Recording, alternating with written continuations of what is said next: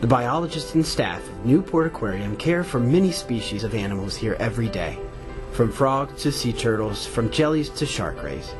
But in the last few weeks, one animal in particular has received what can only be described as extraordinary care.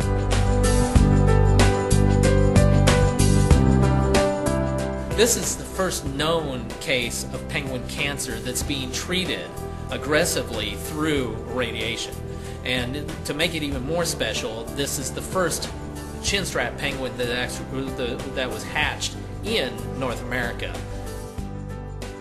This is one of our cold penguins exhibited here at the Newport Aquarium in the Kingdom of Penguins exhibit.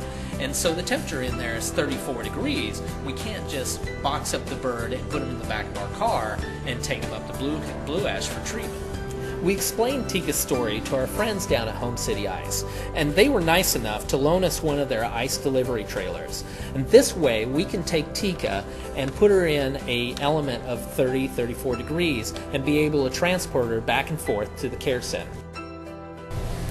Well, the Cincinnati Animal Referral and Emergency or Care Center was a veterinary hospital that we started in, in the year 2000 because we, we wanted to form Cincinnati's first multi-specialty veterinary hospital.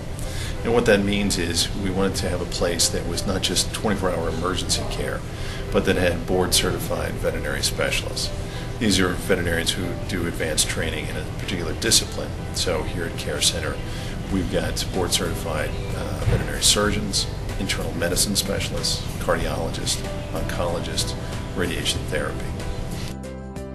Uh, the parameters that we use in order to, to do this process are based on other animal models, not penguin models, because penguins have never been done before. I mean, this is the first time that this type of therapy has been done. So, utilizing the parameters that have been done with other animals for the same type of mass dictates the number of treatments, which are 16, and uh, that way we're certain that um, uh, you know, we get the, the adequate amount of radiation for the problem.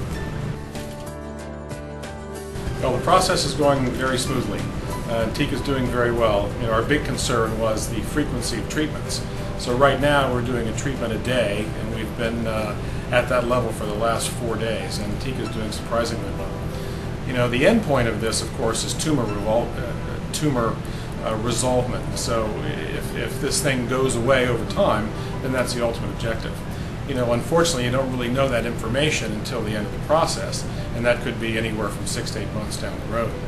Um, we will probably do a biopsy in six months to see if we have any residual cancer cells.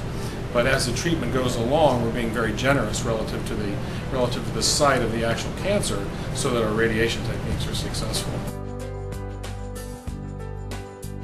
If you're interested in helping to support Tica and raise awareness, Newport Aquarium is now selling special black and white ribbons. The $2 cost will go entirely toward penguin research and conservation throughout the world through the Wave Foundation at Newport Aquarium. Be sure to get yours on your next visit.